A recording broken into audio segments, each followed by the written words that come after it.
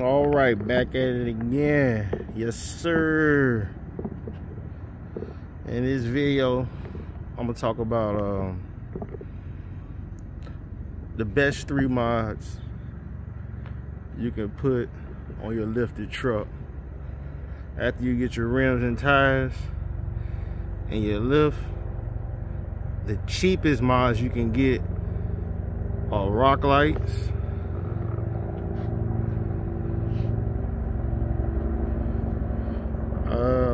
That's the first cheapest mod. You can get your best set of rock lights for about no less than $100. But your real decent ones that's gonna really shine bright, excuse me for the helicopter noise, flying over me.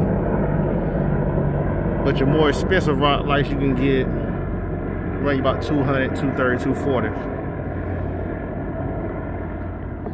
The second one is your license plate light it's a simple swap, less than 15 minutes, real bright. Go look at my other videos. I got, I got, I got to show you everything, what everything looks like. High quality rock lights, license plates and lights. That's the second one. The third one is your third brake light. Again, about 40 $50. Smoked out, looks great smoked out looks great. As a matter of fact,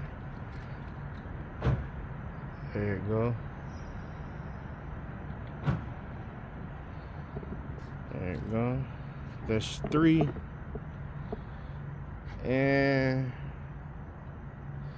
I say those are the best three. After you get your your lift, your suspension, and your rims and tires. Because your rims and tires it's all gonna be the most expensive out of everything.